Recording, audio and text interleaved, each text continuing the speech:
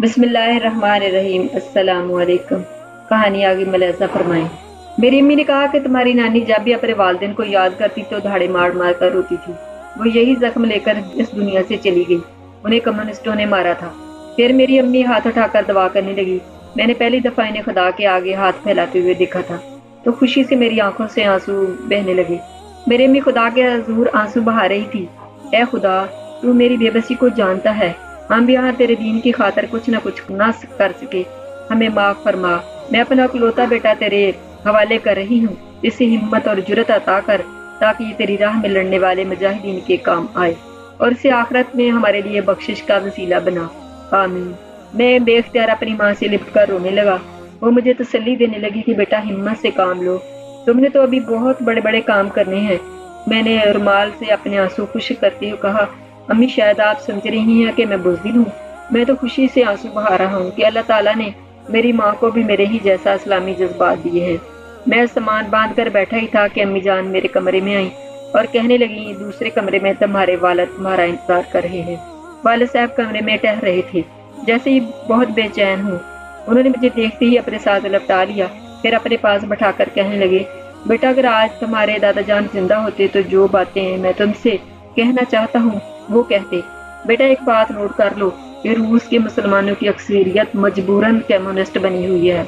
मसलन मेरे बहुत सारे दोस्त, इसलिए कम्युनिस्ट बने हुए हैं कि कमसो मूल में शामिल हुए थे कि हम रूसी कम्युनिस्टों से निजात हासिल कर सकें और मुसलमानों के अंदर कौमी बेदारी पैदा कर सकें, ताकि वह आज़ादी की जंग लड़ने के लिए तैयार हो सकें। लेकिन हम नाकाम रहे, क्योंकि रूस की खुफिया सर्वस बहुत वसी और मज़बूत है।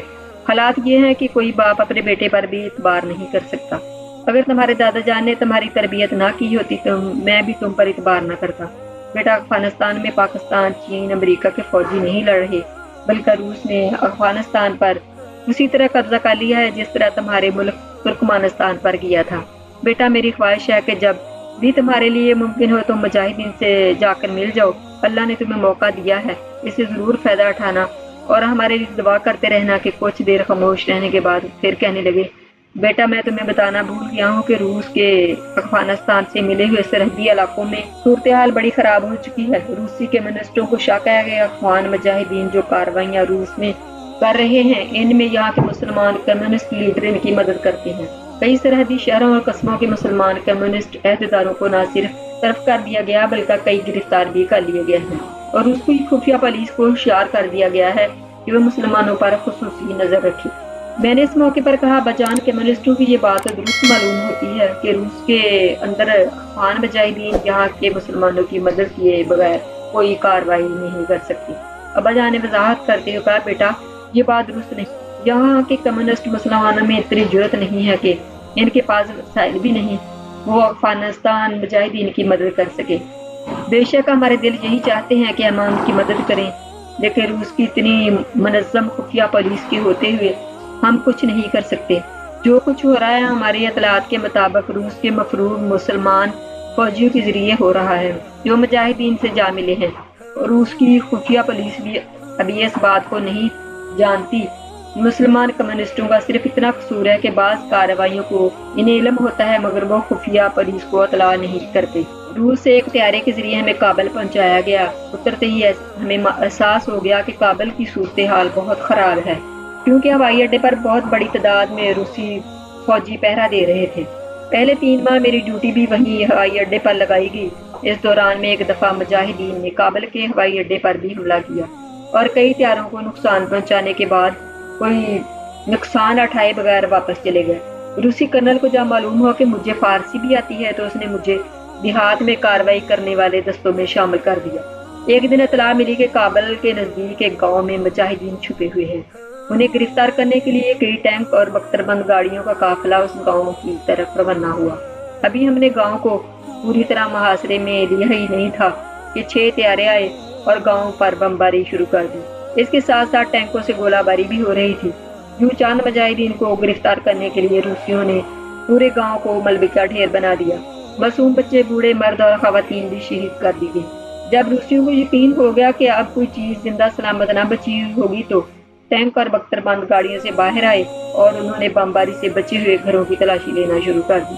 गाँव में जगह जगह आग लग गई थी और मस्जिद समेत बहुत से घर मुकम्मल तौर पर तबाह हो गए थे। गाँव के एक तरफ़ चंद मकान बचे हुए थे। इनमें से मैं एक में दाखिल हो गया। मैं दवा कर रहा था कि मुजाहिदीन इस घर के अंदर हो, ताकि मैं इन्हें बचा सकूँ। घर के अंदर मुझे दो बूढ़ी खातन और एक बच्चा नज़र आया। खातन बहुत खौफसदा थी और बच्चा सहमा हुआ था। मैंने इनसे पूछा कि यहाँ कोई मज़ाक तो नहीं छुपा हुआ? खौफजदा औरतों ने नफी में सर हिला दिया। मैं तलाशी लेने के लिए आगे बढ़ा तो वो कमरा खाली था। मुझे एक तरफ़ दरवाज़ा नज़र आया जो शायद नीचे तय खाने में जाता था। मैं यूँ ही इस दरवाजे की तरफ़ बढ़ा, एक बुढ़िया मेरे आगे हाथ जो जोड़ कर खड़ी हो गई। मैं सब कुछ समझ गया। मैंने बुढ़िया से आस्तिकी से कहा कि मैं मुसलमान हूँ। फिर मुजाहिदीन को देखना चाहता हूँ। इन्हें कोई नुकसान नहीं पहुँचाऊँगा। बुढ़िया को शायद मुझ पर एक बार ना आया, वो मुझे रोकते हुए कहने लगी कि, नीचे मुजाहिदीन नहीं, बल्कि मेरी बच्चियाँ हैं। मैंने ज़्यादा इसरार ना किया और वापसी के लिए चल पड़ा। साथ वाले घर की तलाशी ली जा चुकी थी। मैं तीसरे घर में दाखिल हुआ तो वहाँ इस्माइल जो इस दिन मेरे साथ शहीद हुआ था, बाहर निकल रहा था। इसलिए मैं तलाशी लिए बगैर वापस आ गया। अल्लाह का शुक्र था कि कोई ज़िंदा इंसान रूसियों के हाथ ना आए। लेकिन उन्होंने गाँव में लूट मार करने में कोई कसर न छोड़ी। मुजाहिदीन या तो इसी घर में छुपे बैठे थे, जिसकी तलाशी मैं लेकर आया था, या फिर इन्हें हमारी आमद की इतला पहले मिल गई थी और पहाड़ी गारों में जाकर छुप गए थे। चंद रोज बाद फिर एक ऐसी ही कार्रवाई के लिए रूसी अफगान फौज ने एक गाँव का मुहासरा किया। एक दिन पहले मुजाहिदीन ने रूस का एक त्यारा गिराया था, जिसमें रूसी फौज के आला अफसर हलाक हुए थे। अतला मिली थी कि त्यारा गिराने वाले मुजाहिदीन के साथ इस साथी इस गाँव में हैं। हर घर की तलाशी ली जा रही थी। तलाशी के बहाने रूसी फौज हर घर से कीमती सामान लूट रही थी। गाँव में किसी गरदार ने एक बूढ़ी औरत के बारे में बताया कि वो मुजाहिदीन के लिए खाने का इंतज़ाम करती है। रूसियों ने इसे पकड़ लिया। इससे मुजाहिदीन के ठिकानों के बारे में पूछने लगे।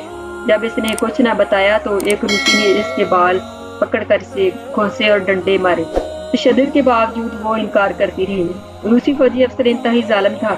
मुझे बुढ़िया पर बहुत रहम आ रहा था, मगर मैं इतने रूसियों की मौजूदगी में उसकी कोई मदद नहीं कर सकता था। बुढ़िया पर तशद बढ़ता गया, मगर उसकी ज़ुबान फिर भी खामोश रही। तो रूसी अफसर ने बारी बारी इसके हाथ कटवा दिए। हाथों से खून बह रहा कर ज़मीन पर जम रहा था, लेकिन बूढ़ी मुजाहिदा की ज़ुबान फिर भी खामोश रही। जालम रूसी ने संगीने मार कर इसकी एक आँख जाया कर दी। उसके मुँह से हल्की सी कराह निकली इसने फिर भी कुछ न बताया रूसी अफसर ने इसके दोनों पाँव कटवा दिए। हाथ और आँखों के रास्ते इतना ही खून बह चुका था कि वह ज़िंदा नहीं बच सकती थी।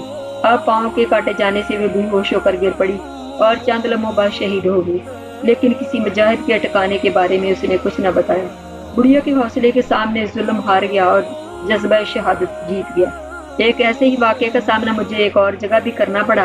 मुजाहिदीन घर के किसी तय खाने में छुपे हुए थे। रूसी फौजी ने घर की तलाशी ली। मगर वो मुजाहिदीन का सराग ना लगा सके तो घर के मालिक पर तशद किया जाने लगा। इसे शिकंजे में कस दिया गया और चाकू से इसके जिस्म के कई हिस्सों से गोश्त काटा गया। जख्मों पर मिर्चियों नमक छिड़का गया और वो दर से चीखने लगा। इसके बावजूद मुजाहिदीन के बारे में उसने कुछ न बताने से इनकार कर दिया। फिर इसके आठ साल बच्चे को इसके सामने लाया गया और कहा आप भी ना बताओगे तो तुम्हारे इस बच्चे को कत्ल कर दिया जाएगा। इसकी जबान फिर भी खामोश रही बच्चे पर तशद शुरू किया गया। बच्चे की चीखों से बाप का दिल पिघल जाए वो और मुजाहिदीन के बारे में बता दे। मगर बाप पर अपने बेटे की चीखों का भी कुछ असर ना हुआ तो इंतहा जालमाना तरीके से बच्चे के जिस्म के टुकड़े टुकड़े कर दिए गए।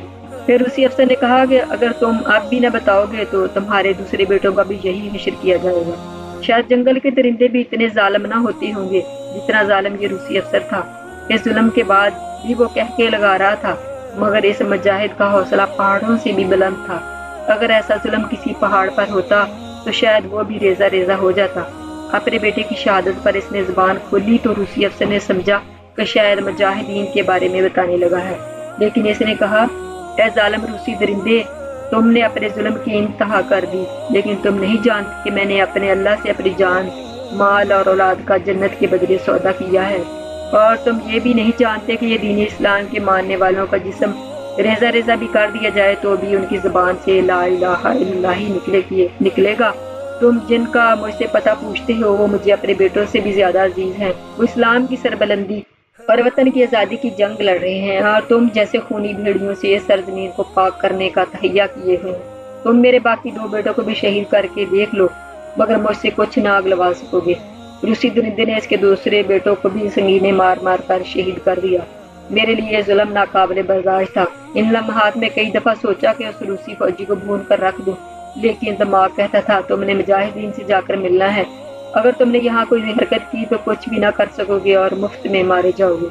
मैंने फैसला किया कि जब तक रूसी फौज में हूँ, देहात की तलाशी के दौरान मैं अपने आप को सबसे आगे रखूँगा ताकि मुजाहिदीन की मदद कर सकूँ। चंद रोज बाद का वाक़ है कि एक गाँव की तलाशी के दौरान में मैं एक घर में दाखिल हुआ। घर के दलान में एक बूढ़ा अपनी बकरियों के पास बैठा था। मैंने इसे पूछा कि घर में कोई है तो इसने जवाब दिया कि नहीं। मेरी छठी हिस्स कह रही थी कि इस घर में मुजाहिदीन छुपे हुए हैं। मैं कमरों की तलाशी लेने के लिए दरवाज़ा खोलने लगा तो बूढ़े ने मजहमत की कि अंदर मेरी बच्चियाँ हैं। इसलिए दरवाज़ा मत खोलो। रूसी कम्युनिस्ट फौजी ऐसे घरों में लाजमन दाखिल होते थे। वो नौजवान लड़कियों की इज़्ज़त लूट कर इन्हें कत्ल कर देते थे। इसने बूढ़े से कहा कि मैं जानता हूँ अंदर मुजाहिद हैं। मैं मुसलमान और मुजाहिदीन की मदद करना चाहता हूँ इसलिए मेरे साथ धोखा करोगे तो मुजाहिदीन को मरवा दोगे। बूढ़े को मेरी बात का यकीन आ गया तो उसने कहा कि मैं क्या करूँ? मैंने कह, कहा कि पहले बताओ मुजाहिदीन किन किन घरों में छुपे हुए हैं। बूढ़े ने पहले समझा कि मैं शायद इसे चक्कर देने की कोशिश कर रहा हूँ लिहाजा इसने कुछ न बताया। मैंने इसे दोबारा यकीन दिलाया तो इसने कहा कि साथ वाले घर में भी है। जब इसने साथ वाले घर का नाम लिया तो मैं फिक्रमंद हो गया कि अगर कोई दूसरा तलाशी लेने वाला इस घर में दाखिल हो गया तो मुजाहिदीन को बचाना मुश्किल हो जाएगा। क्योंकि मुजाहिदीन के पास अगर असला होता तो वो मुकाबला ज़रूर करते। और छुपते सिर्फ़ इस वक्त थे जब इनके पास असला खत्म हो जाता था। मैंने बूढ़े से कहा कि हमारे अफसर से कहना कि मुजाहिदीन कुछ देर पहले यहाँ आए थे और तुम्हारी कुछ बकरियाँ ज़बरदस्ती छीन कर ले गए हैं और तुमने इन्हें पहाड़ों की तरफ़ भागते हुए देखा है। इसके बाद मैं मैं उसे पकड़कर बाहर ले आया और साथ वाले घर में दाखिल हो गया। वहाँ सहन में इस्माइल खड़ा था। मैंने इसे देख, देखा कि मुझे देखते ही इसके चेहरे का रंग उड़ गया। मैंने उससे पूछा कि क्या तलाशी ले ली है? तो इसने कहा हाँ इस घर में कोई मुजाहिद नहीं। मुझे बड़ी हैरानी हुई लेकिन मैंने खामोशी इख्तियार कर ली। मुझे इस्माइल के बारे में शक हो गया कि शायद वो भी मेरी तरह मुजाहिदीन की मदद कर रहा है। एक बार हम तलाशी ले रहे थे कि छुपे मुजाहिदीन घेरे में आ गए रूसी कम्युनिस्ट फौजी भी साथ थे मैं मुजाहिदीन की मदद नहीं कर सकता था। मुजाहिदीन की तादाद दस थी जब इन्हें पकड़कर घर से बाहर ला रहे थे तो मैंने देखा कि दूसरे फौजी भी बहुत बड़ी तादाद में आम, अफान अवाम और दूसरे मुजाहिदीन को पकड़ कर ला रहे हैं। मैंने फैसला किया कि आज इनकी मदद ज़रूर करूँगा, वरना रूसी इन सबको खत्म कर देंगे। शाम होने वाली थी। मैंने सोचा कि इनके आगे इनके लिए भागने का मौका पैदा करूँगा। तो कम अज कम आधे तो बच जाएँगे। मेरे पास चार हैंड हैंड ग्रेनेड थे। मैंने उनमें से दो निकाले और अल्लाह का नाम लेकर मेरे आगे जो मुजाहिद था उसकी जेब में रख दिए। मुजाहिद ने मेरी तरफ़ गर्दन घुमाकर देखा तो मैंने आस्तिकी से कहा कि मैं तुम्हारी मदद कर रहा हूँ। शोरोल में कोई बात ना सुन सका और ना किसी ने मुझे देखा। पहाड़ के दान, दामन में रूसी टंग खड़े थे। तमाम मुजाहिदीन और दूसरे अफवानों को वहाँ लाकर लाइन में खड़ा कर दिया गया। इनके हाथ पुष्ट पर बाँध दिए गए। मैंने जिस मुजाहिद के कोट की जेब में हैंड ग्रेनेड रखे थे, उसके हाथ इस तरह बांधे के वो रस्सी में से हाथ जब चाहे निकाल ले। मैंने उसे बता भी दिया कि इन कैदियों की तादाद सौ से ज़्यादा थी रूसी फौजियों ने पोजीशनें ले ली। मुझे पता था कि अफान मुजाहिद मेरी चाल समझ चुका है तो फिर मुझे सामने खड़ा नहीं होना चाहिए। इसलिए मैं एक तरफ़ होकर खड़ा हो गया। मैं दुआ कर रहा था कि या अल्लाह थोड़ा सा अंधेरा और छा जाए, ताकि मुजाहिदीन को भागने में आसानी रहे। और ऐसा ही हुआ। जब रूसी फौजी अफसर हुक्म देने के लिए आया तो इन सबको गोली मार दो तो मेरी नज़रें इस मुजाहिद पर थी, जिसके पास हैंड ग्रेनेड थे। इससे पहले कि रूसी फौजी गोलियाँ चलाते, इसने हैंड ग्रेनेड रूसियों की तरफ़ फेंक दिया। ये देख कर सब मुजाहिदीन भाग निकले। मेरा मनसूबा कामयाब रहा। सिर्फ़ बारह मुजाहिदीन शहीद और सात जख्मी गिरफ़्तार हुए। बाकी बच निकलने में कामयाब हो गए। नौ रूसी हलाक हुए थे। मैं खुद भी जख्मी हो गया था। और इन्हीं जख्मों ने मुझे इंक्वायरी के दौरान में बचाने में मदद दी और अनकारी अफसर ये मालूम करने में नाकाम रहा कि दस्ती बम मुजाहिद तक कैसे पहुँचे और किसने पहुँचाए। एक दिन तलाशी की मुहिम में हम वापस आ रहे थे कि खूबसूरत अखफान बच्चा दौड़कर सामने आ गया। इसने मुझे एक सिगरेट पेश किया। रूसी अफसर ने वो सिगरेट मुझसे छीन लिया और खुश होकर बच्चे को थपकी दी। रूसी अफसर ने सिगरेट मुँह में दबाकर यूँ ही से लगाया वो धमाके से फटा और रूसी अफसर का मुँह और चेहरा जल गया। और एक आँख से खून बहने लगा। यह दरअसल सिगरेट बम था, जिसमें तमाकू की जगह बारूद भरा हुआ था। बच्चा रूसी अफसर का जला हुआ चेहरा देखकर हंसने लगा। रूसी अफसर ने इसे पकड़ने का हुक्म दिया। दूसरे फौजी उस बच्चे पर तशद करने लगे कि बताओ, सिगरेट तुझे किसने दिया था और कहाँ से लाई हो? लेकिन बच्चे ने बताने से इनकार कर दिया। उसे बहुत मारा गया। उसके दो दांत भी टूट गए और जिसम से भी कई जगह खून बहने लगा। मगर उसने कुछ ना बताया। रूसी अफसर ने मुझे कहा कि अब्दुलरहमान इसे गोली मार दो। इसने मेरा चेहरा खराब किया है, इसे खत्म कर दो। शायद कहने से पहले रूसी अफसर ने यह ना सोचा था कि रूसियों ने तो पूरे अफ़गानिस्तान का चेहरा खराब कर दिया है और लाखों मासूम बच्चों और औरतों और बूढ़ों को कत्ल किया है। मैंने बड़ी आस्ती और बदली के साथ कलाशन को सीधा किया। बच्चे ने उठकर भागना शुरू कर दिया। दूसरे रूसी फौजी गोली मारने लगे तो मैंने कहा कि आज निशाना मैं लगाऊँगा। आज की मेरी वीडियो अगर आपको पसंद आई तो इसे लाइक और शेयर करें और सब्सक्राइब ज़रूर कर लें, ताकि मेरी हर आने वाली वीडियो आपको जल्द हासिल हो सके। कहानी अभी जारी है। अल्लाह हाफिज़।